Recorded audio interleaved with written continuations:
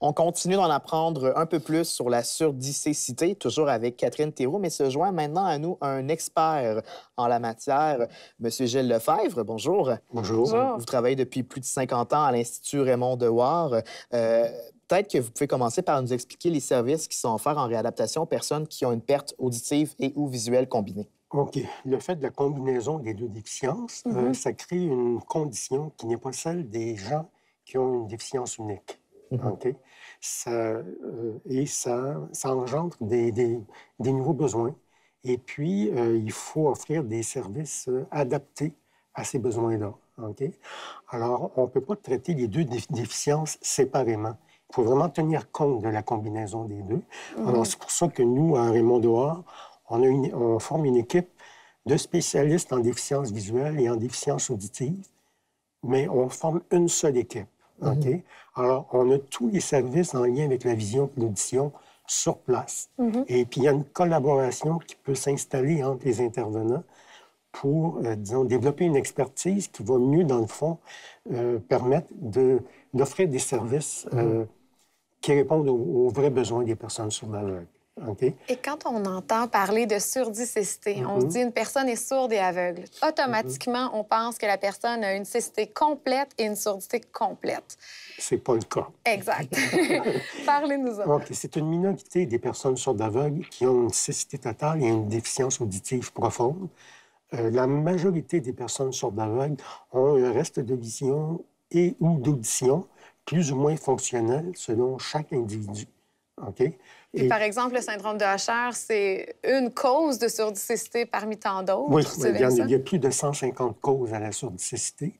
Oui. Le syndrome d'Usher est quand même, une, même si c'est une condition rare, ça demeure une des causes les plus fréquentes. C'est la moins rare dans les rares. Oui, c'est ça, c'est ça. Catherine, moi, OK. je serais, je serais curieux de savoir le, le genre de service que vous avez reçu quand vous étiez à l'école, que ce soit au primaire jusqu'à l'université, puisque vous êtes toujours aux études en ce moment. Oui. Euh, le, le genre de service que j'ai reçu, euh, Mhm. ben, j'ai eu un interprète gestuel euh, au primaire.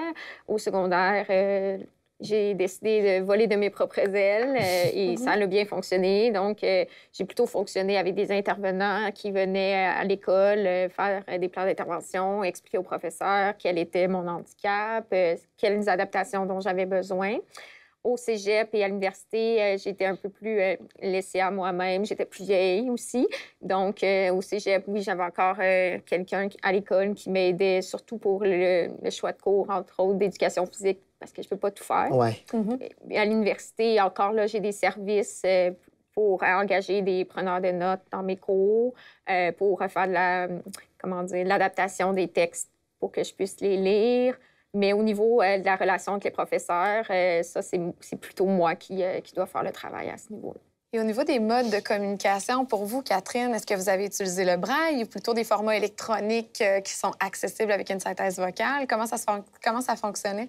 Euh, ben, en ce moment, j'ai quand même assez de vision pour Mhm. pouvoir euh, voir. Donc, euh, la synthèse vocale est moins présente dans mes adaptations. Ça va être plutôt un zoom. Donc, sur mon ordinateur par- portable ou euh, de table, je vais zoomer sur euh, les éléments que je veux voir. Oui. Sinon, euh, pour lire, ça va être plutôt sur une tablette et ça va être des livres électroniques. Et euh, je vais faire l'inversion des couleurs. Donc, le fond noir, les écritures blanches, je vais grossir les écritures. pour- Tout à fait. Parce que- que... en fait, les personnes sourdes et aveugles, qu'on décrit comme étant sourdes et aveugles, Mhm. on comprend que c'est un continuum, communiquent de différentes manières. Oui, oui, oui. Euh, la majorité, ce sont des personnes qu'on dit oralistes, qui vont communiquer par la parole Mhm. et euh, qui euh, vont devoir utiliser des systèmes d'amplification de la parole pour la communication euh, réceptive. Catherine. OK? Oui, comme Oui. Catherine. OK? Mais il y a des personnes sourdes aveugles qui communiquent en langue des signes, Mm. que ce soit visuel ou tactile. Tactile. OK? Est-ce qu'on en fait assez au Québec en matière de soutien à l'éducation pour les personnes qui ont une forme ou une autre de surdicécité ou on pourrait faire mieux? Euh, moi, je préférerais vous parler des services de réadaptation d'abord. Oui. Euh, parce qu'on travaille dans tous, les milieux, dans tous les milieux de vie d'une personne sourde aveugle. OK? Alors, de, de collaborer avec les écoles, c'est une petite partie de, notre, euh, de nos interventions. Ah. OK? Mhm. Euh, mais comme c'est une, une population qui est très hétérogène, euh, les besoins sont, sont vraiment particuliers et c'est quasiment du cas par cas. OK? Mm. Euh, Il n'y a pas de standard pour le- disons, la scolarisation d'une personne, d'une personne sourde aveugle. Souvent, c'est de l'accompagnement Mhm. individuel, comme Catherine, Euh, ben, Catherine avait classe droit. L'accompagnement, peut être un des moyens. Mhm. OK? Euh, ici, au Québec, euh, la majorité des élèves sourds aveugles ne bénéficient pas du service d'accompagnement. Mhm. OK? Qu'est-ce qui Euh, se passe à ce moment-là? Est-ce qu'ils sont placés dans des classes spécialisées? Pour qu'il n'y ait La aucun majorité- accompagnement dans le cas où La on est face majorité à un des, élèves sourds aveugles sont dans des classes spécialisées.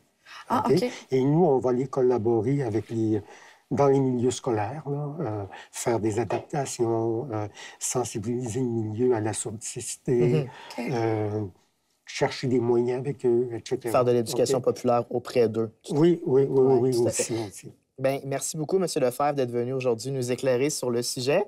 Oui, Ça fait merci. plaisir. Si on veut en apprendre plus sur les services de l'Institut Raymond Devoir, on peut se rendre sur le site d'amitélé.ca où on va mettre l'adresse.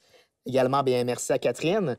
On va aussi mettre le site euh, de, des créations de toi et de ton chum, si Merci. jamais on veut se procurer Oui. ces fameuses tasses. Matfa 9, donc M-A-T-H-F-A et le chiffre 9. Tout à fait, si on veut le retrouver sur Google, c'est possible. Merci beaucoup, Catherine. Merci, Merci. à vous.